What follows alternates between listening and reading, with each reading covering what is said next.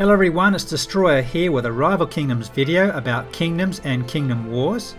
Once you've upgraded your stronghold to level 4, you'll be able to join a kingdom or create your own for a small amount of gold. I have a mini village here called YouTube 74 that's already created its own kingdom, which I named Destroyer 74. It's the only member so far, so it does hold the title of King, which is positioned right here in the middle. If you're using a female avatar, you'll be the Queen. When I tap on the king you'll see that it has a harvest gold bonus. This means that the smelters will produce 3% more gold. The king has full control over the kingdom allowing him to change the settings, change people's roles, accept new members and kick existing members. There's several other roles such as Lord. Lords manage members and assign roles. A Lord can change other people's roles, however they cannot make someone else a Lord or demote a Lord. They can accept new members and kick existing members. Another role is Sentinel. The primary benefit of being a Sentinel is a defensive bonus. This is effective during Kingdom Wars and also during multiplayer attacks. This role is commonly requested when people's shield is about to expire. Then we have the Raider role, which gives you bonus gold during multiplayer attacks. This is the most commonly sought after role when people come online to use their battle stones. Another role is Commoner, which is the default role and doesn't have any additional perks. Then there's the Squire role. This is typically used for lower level strongholds since they won't be included in the Kingdom War lineup, however they can attack the enemy during the war. Lastly, there's one role called Outcast. With the exception of the title, this role is currently no different to Commoner, so maybe you'll want to send someone here if they've been misbehaving. There's several kingdom projects in the kingdom, such as Farm and Council Hall. So let's go through each one and discuss what their function is. First take note of the kingdom fame in the top left corner. A new kingdom will begin with 7 fame. Okay, let's have a look at this project called Farm. A new kingdom will have a 25 member capacity, however you can increase this by making donations. Once it's received 240 donations from the kingdom members, it will upgrade to level 1 which will increase the member limit to 30 as well as give you 2 additional fame. I'll donate 235 gold to this now and you'll see that it now has a 3 hour cooldown before I can donate to it again. And there's also something in the middle which shows that I earned 47 loyalty points for my contribution. Loyalty points are used to buy loyalty chests. I did post a video about loyalty earlier on so you can click on this link to watch that later. Next is the Raiders Guild and this will control the number of raiders you can have. Similar to the farm, a level 1 upgrade will give you 2 more Kingdom Fame and takes 240 donations. The Tavern project is locked until your kingdom has 10 Fame. Upgrading this project will increase the percentage of bonus loot for villagers in the Raider role. There's a Kingdom Troop Portal which you can build if you're part of a kingdom. The level 1 upgrade will allow you to upgrade your troop portal to level 2. The higher the troop portal level, the more troop slots and higher troop levels it will provide. The next project is called Gatehouse. Upgrading this will increase the number of sentinels you can have. This is a very powerful role, hence why it costs rings to upgrade. Just next to it is the Watchtower, and this project controls the percentage of defense the villagers will receive in this sentinel role. Over here is the Squire Training Project. Upgrading this role will increase the number of squires you can have. In the far right is a project called Council Hall, Upgrading this will increase the number of lords your kingdom can assign. Next to that is the Royal Mint. Once unlocked, you can upgrade it to increase the percentage of harvest gold bonus for the lords. So you do have several projects to start working on.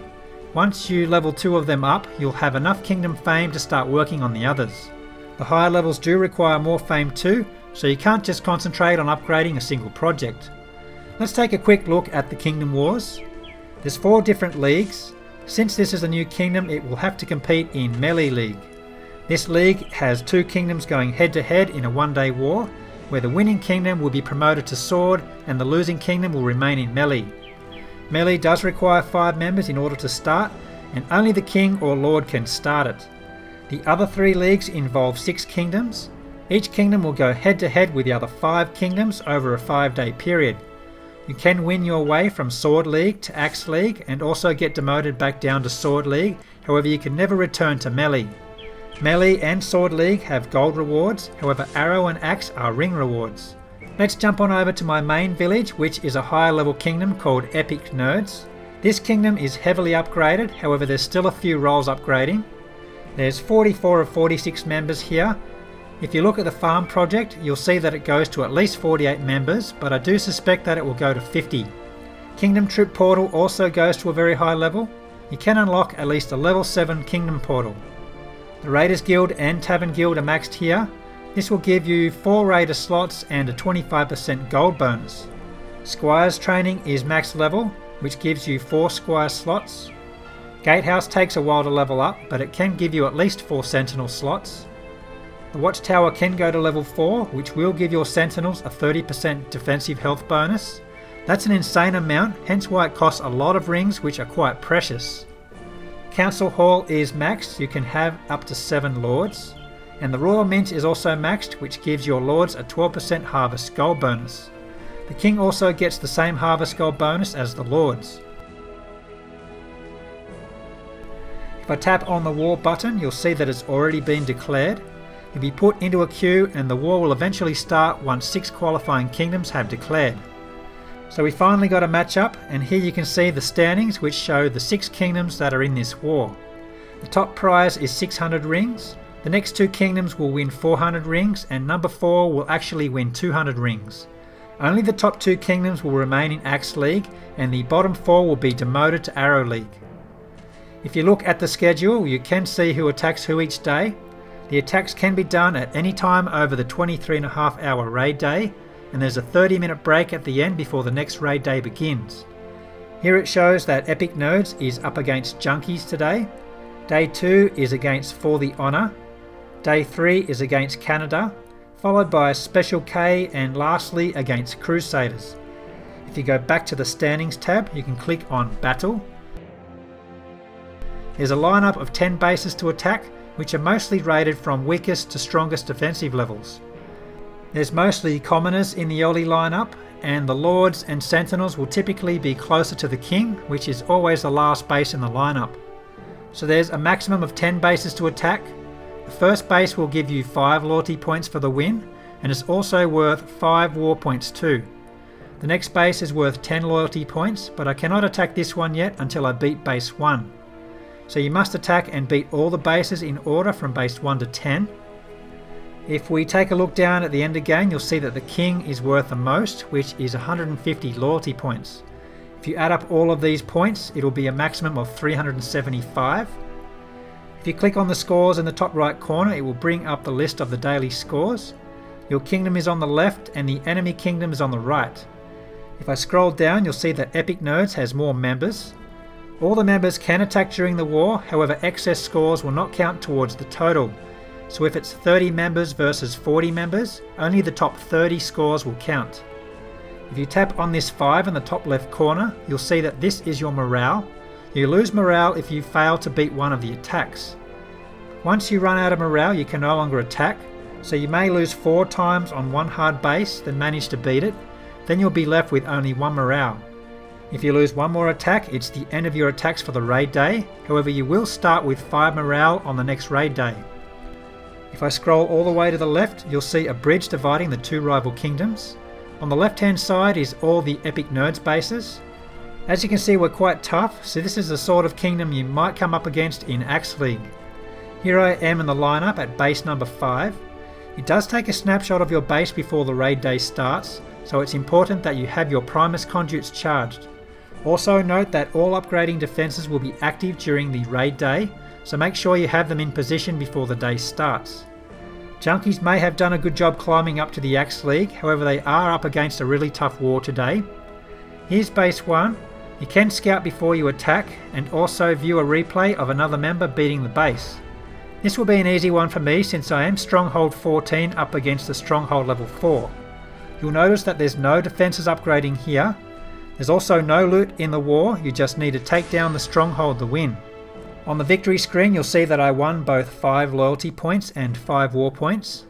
The war points will contribute to the raid day score. Now that I defeated the first base, you'll see that I've moved onto the second base now, which is worth 10 points. That will continue on until you reach the king. Let's check on the scores again. Under each player's avatar there's a green bar which represents their morale. Everyone here currently has 5 morale since the raid day has just begun. You can take your time with these attacks since the raid day does last 23 and a half hours. This cross sword icon over here will bring up the war standings and the schedule. On the right hand side of the kingdom names it lists the raid day wins as well as the points tally. If the wins happen to be a tie at the end of the 5 days, the winner will be decided by the total points. There are a couple of kingdom chats. The Kingdom League chat is for all 6 kingdoms to chat together the Kingdom Raid chat is only for the two kingdoms in the raid day, which in my case is Epic Nerds and Junkies. At the end of the raid day you'll see a results screen. If your kingdom happens to win for the day, you'll receive a further 500 loyalty points. The next raid day will begin 30 minutes later. If it happens to be the last raid day, you'll see the final results for the Kingdom War. Epic Nerds happen to come in first place here, so that's a 600 ring reward for each member that was in the kingdom for the entire duration of the war. Do note that in order to receive the ring reward, you must be in the kingdom before the war is declared and you must remain in the kingdom until the final war results come in. If you leave at any time and join back again, you'll not receive anything. However, if you are in the kingdom for the entire duration of a raid day, you can attack bases and also win the 500 loyalty points at the end. Once the war has ended, you can go back into the war page. You'll see that the kingdom has a 12 hour cooldown before you can declare again. Well, I hope I've answered all your questions about Kingdoms and Kingdom Wars. I'm sure both of these will keep evolving over time, so I'll be sure to bring you updates if and when that occurs. Keep an eye out on my Twitter, as I'll more than likely do some live streams on Twitch during some of my tougher wars. Bye!